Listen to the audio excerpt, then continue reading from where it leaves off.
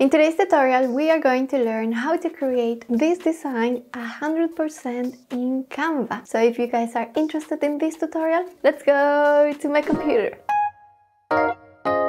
And before starting with the tutorial, I would like to give credit to the official Canva Facebook group, which is Canva Design Circle, and the following people because they inspire me to create this tutorial that you're going to watch today. So the first one is Rini. You see this beautiful creation right here is also this watercolor theme. Let me show you a couple of examples more.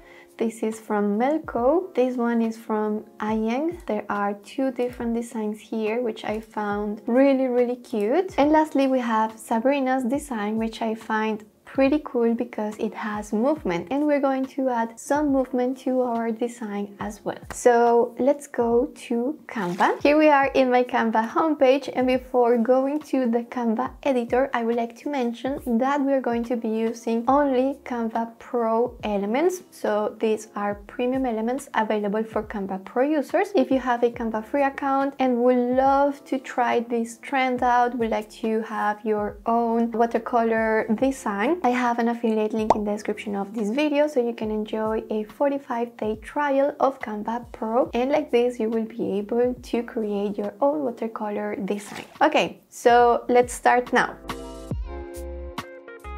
You can decide the doc type, you can choose whatever doc type that you prefer for this design. It really doesn't matter. In my case, I think I will go for an Instagram post because I really like to work in a square format. This one is 1080 by 1080, so it is n square. Now we are here in the Canva editor and we're going to start creating our beautiful watercolor scene. For this, we are going to the element section on the left hand side and we're going to start typing watercolor. And here it depends on what would you like to create what kind of scene you would like to create. You would like to start adding some other keywords after watercolor. So in my case I would like to create something in which we can see a lot of green we can see grass maybe a person inside the scene. So let's start with the grass so we can start building the scene by layers. So I'm going to start with the floor. So we have some watercolor grass here. And as I mentioned before I just want to show you again that when I hover on top of these elements the watercolor designs they have the pro label you see here? So that's why I mentioned that it was important to have a Canva Pro account to be able to recreate this trend or this design. Okay, so I already added one element of watercolor grass. I'm gonna add a different layer or a different design of grass so we can have different elements and we have a design that is not very repetitive. So I think working with different kind of elements, it's going to work. Now that I have my grass, I think I would like to start adding trees, maybe one tree to my scene. And here we have. So here it is a tree. And for us to be able to integrate this tree into the scene I would like to bring it behind the grass because at the moment you see the tree is there in the scene on top of the grass but usually in nature you will see that the grass is around the tree. So let's position the tree backwards so we can see some grass over the trunk of the tree. And I see some other elements that we can add to our scene right here. So let me bring one of these.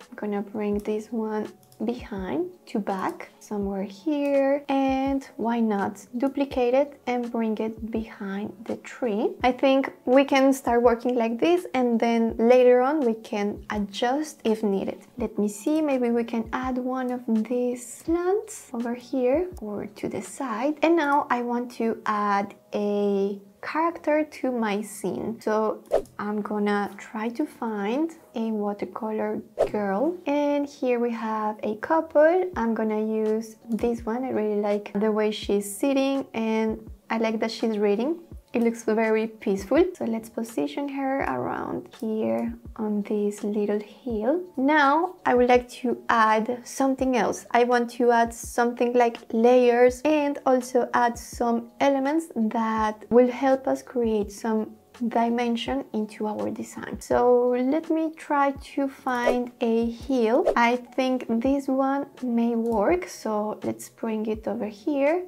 and we're going to position it to back like this. I think it's going to work. Let's make it a little bit bigger, maybe not that big, like this, so we can see the path going upwards. Now let's add a sky.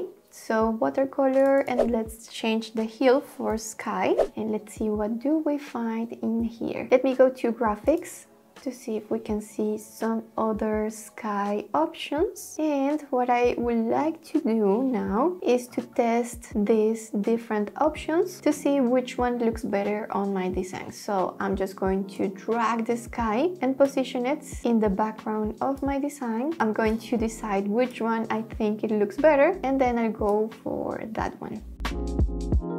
Okay, I don't know what do you guys think, but I guess I'm going for this one, maybe. I think this one is going to look better. Okay, so now I would like to keep adding some elements to make our scene or our design even more fascinating. So let's add little details that are going to make our design look amazing. Let's go to watercolor and I think I would like to add some more grass, just like little pieces of grass to put behind this girl. So there is more dimension in the design. So let me try, I will try different designs that I see here. Maybe this one, let's make it small and put it right here behind her. Maybe it can work. Let's see if this one, I'm just trying to check if the colors fit the scene and the textures that we have already on our design. So let me try something else. I think this one is too bright it's too colorful so let me erase it. I think maybe this one is going to work well. Let me make it smaller and I think with these two elements we are fine. Now I'm going to add a couple of butterflies Let's see if we can find something here. Let me try with butterfly. Yes, okay, perfect. Let's add a couple of butterflies to our design. Maybe one close to her, somewhere here. Another one, I'm just trying to add different colors of butterflies. So we have something more magic happening here on the scene. And I'm trying to position them in different sections of my design, right?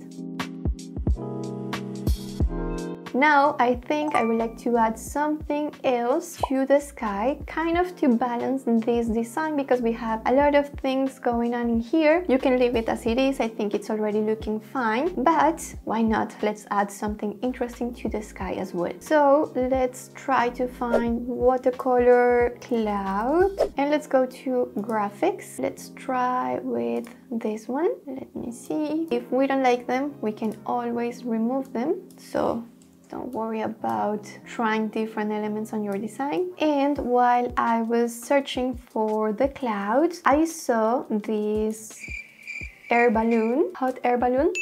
And I think this is going to go really well with the scene that I'm trying to recreate here. I'm trying to create a very magical and special scene. So I think this is going to work well. And let me maybe erase this cloud, I think it's too much. And I will add another cloud in front of this air balloon just to create more dimensions and to have more layers on this design. Lastly, I think I would like to try some other skies to see if I find something else now that I have some more elements here in my design. Maybe we can find another sky that fits better. So let's try different sky.